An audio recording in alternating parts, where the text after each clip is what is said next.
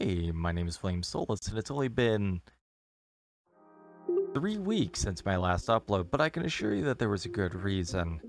Before making another video, I wanted to at least learn more editing tricks to keep things interesting. In addition, I previously mentioned that all I had to do was solder the I2C lines and interrupts. That's not really an update, that's a regret of not having a fume extractor.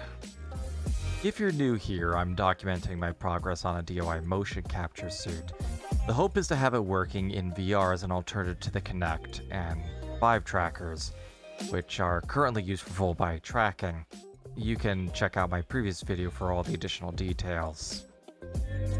After finally wiring up all the power lines, I2C lines, and about half the interrupt lines, I was able to test my older code from three years ago to see if everything worked. Sadly, I found out the code only works if the connected chips have all their interrupt lines set up.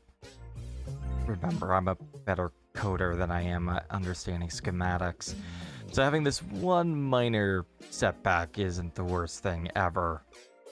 Uh, once I snipped off the extra chips and tried the code again, I was greeted with proper returns.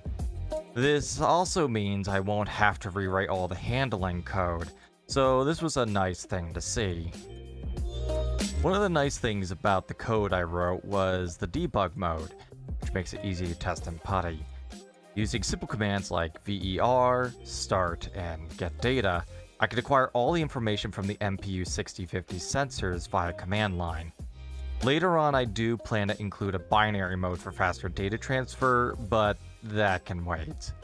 For now, my focus is wrapping up the last two interrupt lines, making sure the code can handle all seven sensors, and write some C code for receiving the information.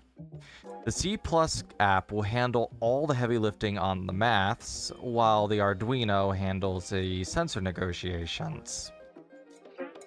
In the end, I spent most of my time trying to learn DaVinci Resolve a bit more, as well as OpenToonz to help add some extra content to the videos. I found Fusion was all I needed, but it was nice to try something that reminded me of Macromedia Flash. I mostly wanted to make this video to show that I am still working on the project and taking steps to make more informative videos. Of course, you can follow me on Twitter for occasional snapshots of progress that will be later explained in these videos.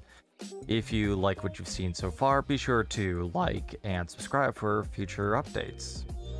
Cheers, everyone.